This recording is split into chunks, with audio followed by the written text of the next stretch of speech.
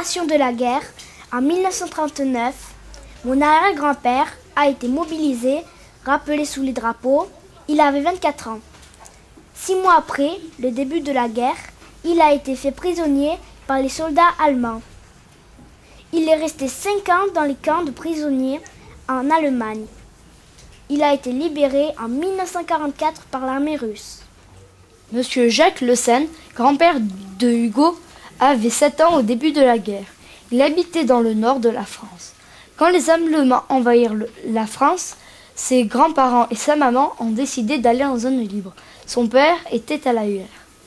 Ils ont chargé la voiture de nourriture, de vêtements et de matelas. Sa maman est partie en vélo. Tout le long du voyage, ils ont été bombardés et mitraillés par les avions allemands. En zone libre, ils n'ont retrouvé la maman que quelques temps après.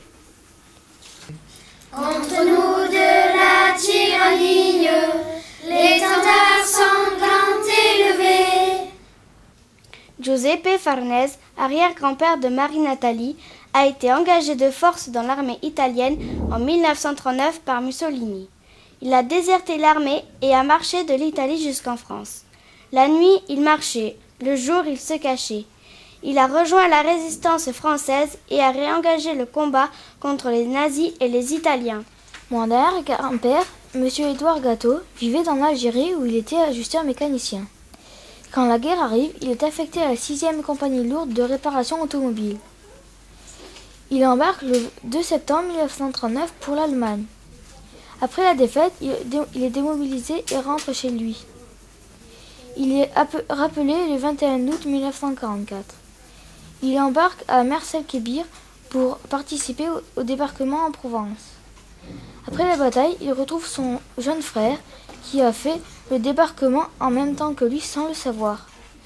Voici le livret militaire de mon arrière-grand-père, Monsieur Gâteau.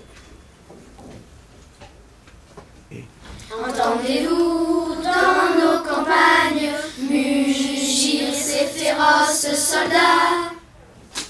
Mon arrière-grand-mère, Madame Yvette Scambry, a vécu la guerre de 39-45. Elle ne mangeait pas à sa faim. Mais sa mère avait du pain parce qu'elle travaillait dans une boulangerie. Elle faisait souvent du troc.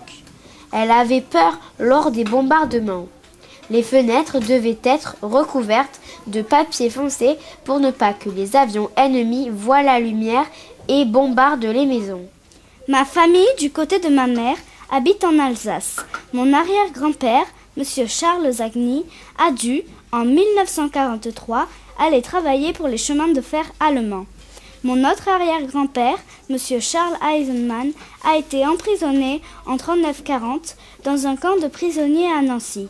Après sa libération, il s'est engagé dans la police pour ne pas être obligé de retourner en Allemagne. Ils viennent jusque dans nos bras, nos fils et nos campagnes. Mon arrière-grand-père, M. René Pichard, s'est engagé à l'âge de 20 ans dans le maquis de Saint-Bonnet-de-Joux en Saône-et-Loire. Il faisait partie de la résistance. En octobre 1944, sous le commandement de M. Fléchard et sous la responsabilité de Mme Lucie Aubrac, il s'est engagé en Indochine. Voici son livret militaire. En 1941, l'armée allemande attaque les lieux publics, les usines, la mine et les écoles. Sur la voie ferrée se trouvait un train blindé rempli d'armes. Les Allemands l'ont mitraillé, mais ils n'ont pas réussi à le faire sauter. Un matin, chez mon arrière-grand-mère, Madame Josette Magéi, quatre Allemands ont débarqué et ont demandé à manger. Enfant que l'honneur, la patrie, fasse l'objet de. Monsieur Sicardi avait 6 ans lors de l'entrée des Allemands à Toulon. Il raconte Le 27 novembre 1942, nous avons été réveillés par de nombreuses explosions. Le bruit venait du port où les bâtiments de l'escadre étaient sabordés par leurs officiers plutôt que de tomber aux mains des Allemands. Je me souviens d'avoir vu des colonnes de marins français couverts de mazout, encadrés par des Allemands en armes, qui remontaient le cours Lafayette. Plus tard, nous avons pu voir le désert de tous ces bâtiments couchés dans la rade. Certains brûlaient encore. Un jour, la voisine de mon arrière-grand-mère lui demanda si elle pouvait garder ses enfants car les Allemands inspectaient les maisons à la recherche des Juifs.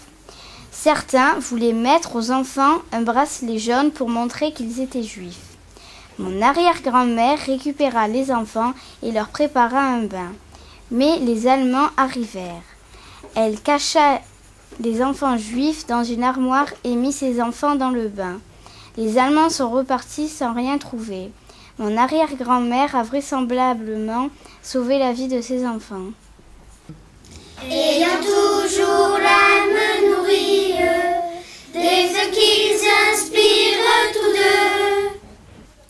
Monsieur Alfred Druot a été déporté en Allemagne pendant six mois à Danzig en travail obligatoire.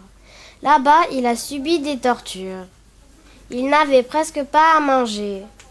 Il se lavait avec l'eau du tuyau d'arrosage. Il travaillait dans une ferme et rentrait très tard. Le soir, il se couchait très fatigué dans un baraquement où ils étaient plusieurs à dormir. Il était très maigre et couvert de poux. Les Allemands l'ont fait rentrer en France à la demande de son épouse à la mort de leur bébé. Mon papy, M. Jean Zanier, est né le 12 janvier 1938. Il se souvient que pendant la guerre, les habitants du quartier avaient creusé une galerie souterraine. Quand la sirène de Gardanne retentissait, les gens allaient se réfugier dans cette galerie. Papy se souvient des avions allemands qui survolaient Biver, Gardanne et bombardaient Marseille. Soyons unis, tout est possible, nos vies ennemis tomberont. En août 1944, les Allemands bombardent la ville de Marseille car les Américains sont venus libérer la ville. Les Marseillais sont obligés de vivre dans les caves pour se protéger des bombardements. Mon arrière-grand-mère a passé une semaine dans la cave. Quand les bombardements se sont calmés, tout le monde est sorti, mais les Allemands étaient encore cachés dans des blocos au bout de la rue. Ils ont tiré sur la foule. Mon arrière-grand-mère a été blessée à une jambe. Elle a failli mourir. Ma mamie, Madame Françoise Gibert, avait 14 ans début 44. Voici son cahier de souvenirs. C'est elle qui écrivait, dessinait, collait des photos. Elle a dessiné des graphiques pour noter le nombre d'alertes et leur durée pendant lesquelles il fallait rester dans les abris. Dans son cahier, elle raconte aussi la libération le 2 septembre 1944. Les Américains nous lançaient des cigarettes, du chewing-gum, des caramels. Alors les Français cesseront de chanter ce refrain terrible. Voici une maquette d'un Spitfire anglais, en français cracheur de feu. C'était l'avion le plus utilisé par la RAF, Royal Air Force. Plus de 20 300 appareils furent construits. Ils sont restés en service jusqu'en 1950.